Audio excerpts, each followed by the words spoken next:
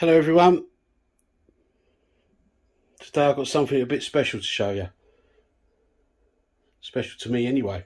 Now I'm a massive Bowie fan for those that know me. And I also turned 50 this month.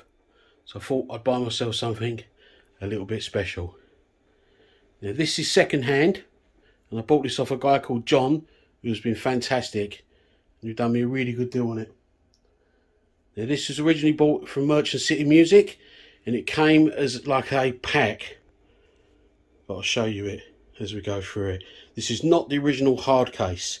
Now, the original hard case was all black with a big Bowie decal on it.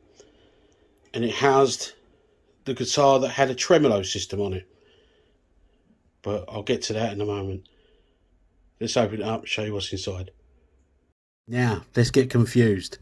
When they first announced the release of these, they said they were going to issue one of 400, which would have a Bigsby tremolo and a limited edition hard case. Now, by the time these all finished, there was actually 432, as you can see on the back of the headstock here, which is no big deal. But they did come with a lovely tremolo, as pictured here, and a lovely hard case. Now, the second wave of these were going to be 400 of the hardtail versions, like these and this would come with a Supro premium case which is a soft case like this. Now out of nowhere a second batch has appeared and they're one of 500 so I'm very confused at how many actually are out there. Is there 832 of the first wave and now 500 of this second wave? Are there going to be future waves? There's no information out there and I've looked high and low. So these are not exactly as limited edition as you'd like to believe or they would like you to believe. Um, there's actually 832 released of the first batch well, there's only meant to be 800 so it's not a great deal over but the release of the second batch another 500 which brings the total up to date of 1332 is a bit of a liberty in my eyes. But these guitar companies do do this quite a lot with the uh, the artist models. Um, I think they've just started to release, um, or they're just going to release the Kurt Cobain Jag-Stang model, which has already been out once, but they're re-releasing it. Albeit, I think it has got differences, whereas this is a bit cheeky because there's no differences to the hardtail one um, at all from the original 400, only the number on the back. Okay, so that's as much as I can find out due to there not being no information on the internet. They've just seemed to release these with no um, no word at all. They just obviously ran out of stock of the other ones and thought, oh no, we'll just do another 500 to see how they go. They are still available out there. They're not selling as quick. Um, but I still think that 1,332 worldwide is a real limited number still. And I didn't actually buy this for the limited edition. I bought this because of the artist and because of the actual guitar. But if you're buying this solely as an investment, then I'd uh, think very carefully because God knows how many more batches they're going to release. But if you are going to buy one as an investment, then buy the Bigsby Tremolo one. There you go. There it is. The David Bowie Supro hardtail version. Now, like I say, this was a special edition just done by the shop, Merchant City Music, and you've got extras with it. Now, if you bought this now, which there are still a few available, because of these uh, extra ones released, I believe, you'll just get this soft gig bag. Okay, but with all of them, you'll also get the certificate of authenticity, which is there. But with this special edition they've done, you also got some plectrums, a CD, a DVD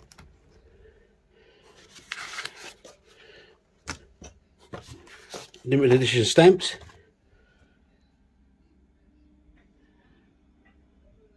All now sold out in the shops even though you can still get all of this on eBay. That's the original receipt in there. But the bit I like best was you get a strap with it as well. In there is just the uh, tools key for the case and obviously the silica gels but you get this lovely strap as well with a zigzag with the Aladdin Sane zigzag on it so as a pack I think that was pretty good it makes it extra special as a birthday present so let's get the guitar out now and go through the specifications quickly Well, here she is out the case. I'm going to run through the specifications quickly for you. I'm going to do it quick because there's quite a few sites out there that hold the specifications for this guitar. So it's not hard to find out. But we'll start from the bottom up.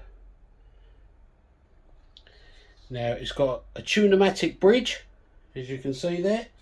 It's called a split level scratch plate or pick guard. That's because that white bit sits on top of the black scratch plate there.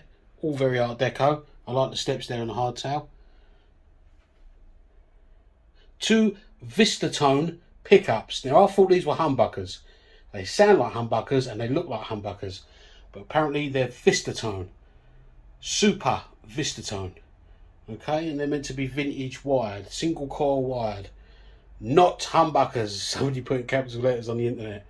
It's got a three-way selector switch and a tone and volume control for each of the Vista-Tone not humbucker pickups. Even though they sound like humbuckers to me. But you can get some brilliant tones out of this guitar. You've got a Pau Ferro fretboard with the block inlays. Plastic nut. Butterfly tulip machine heads that are fantastic. Keep tuned. and They're nice and tight.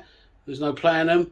That lovely Bowie inlay there, the mirrored one. This is a nightmare for fingerprints on the glossy black parts and on the chrome parts. As soon as you touch them, your fingerprint's there. You can buff them up as much as you like, but the minute you pick up again, they're all back. It's like a phone, you know, like the back of your phone, like the old black iPads. But fantastic, stunning guitar. I'll turn it round for you so you can see the back. There she is round the back. That's a solid mahogany body, a glued maple neck, and the gloss only reaches from that heel then it goes satin, and then it goes right up to the headstock. So it's lovely to play. No stickiness, it feels lovely and your hand glides along it. There's the uh, handwritten number, 140 out of another 500 they've released. But as I said, let me know if you know anything about the numbers for this guitar. It would be handy to know just how many they're going to release. But that's the back of it. So let's whip it back around the front. There we are, like I say, there's so many different tones you get out of this guitar and out of these, not humbuckers, Super Vista-Tone pickups. They sound absolutely fantastic. 22 frets, in case I haven't mentioned that, but I think it's a shorter scale neck.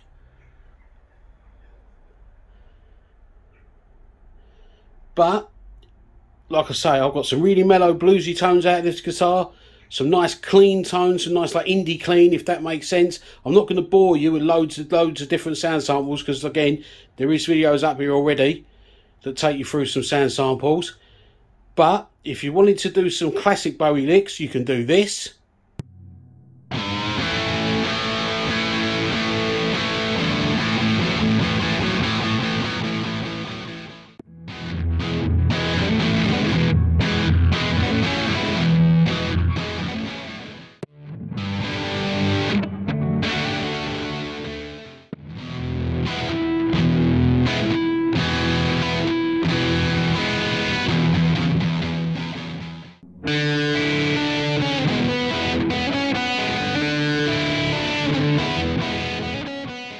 But it wasn't really bought to do those sort of songs.